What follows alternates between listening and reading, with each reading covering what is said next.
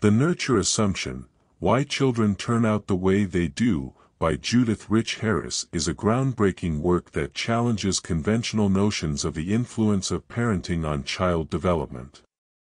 Published in 1998, the book presents a radical argument that goes against the prevailing belief that parents play a significant role in determining their children's personalities and behaviors.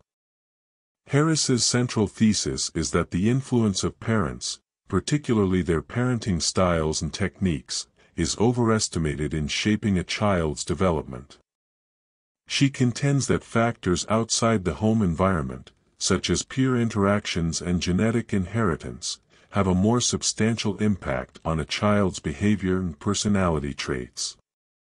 Harris draws from a wide array of research in psychology, sociology, and anthropology to support her argument.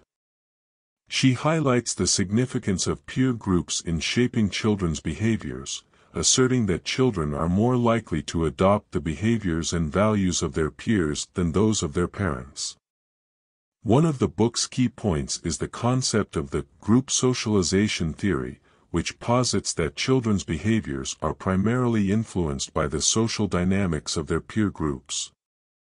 Harris suggests that children have a natural inclination to conform to the norms and behaviors of their peers as a way to fit in and establish their identities.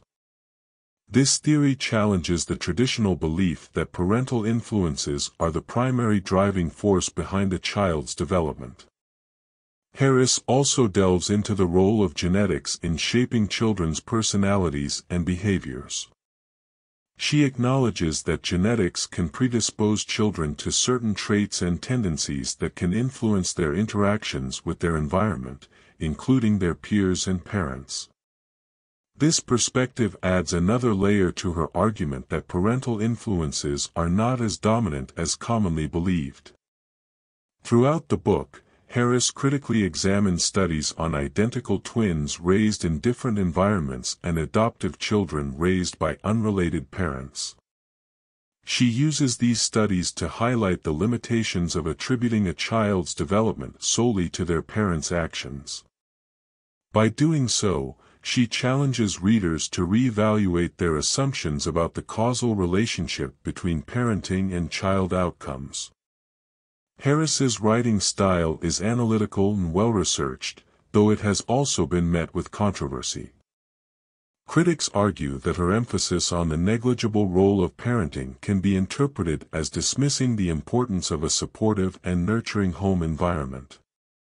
Some also contend that Harris downplays the influence of parents in certain critical areas, such as morality and values. In conclusion, the nurture assumption, why Children Turn Out the Way They Do, presents a paradigm-shifting perspective on child development.